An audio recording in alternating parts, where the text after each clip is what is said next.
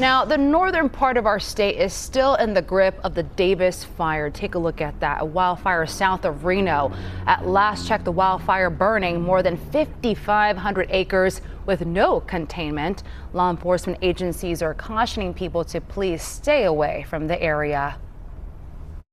Please stay out of there. We've had people line up on Mount Rose trying to watch, pulling out their lawn chairs or on the freeway.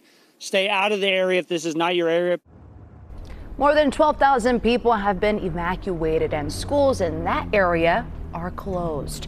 Now we go to San Bernardino County, California. The line fire threatens threatening more than 38,000 structures. So here you're seeing video from last night. Cal Fire says this wildfire is only 5% contained and covers more than 26,000 acres.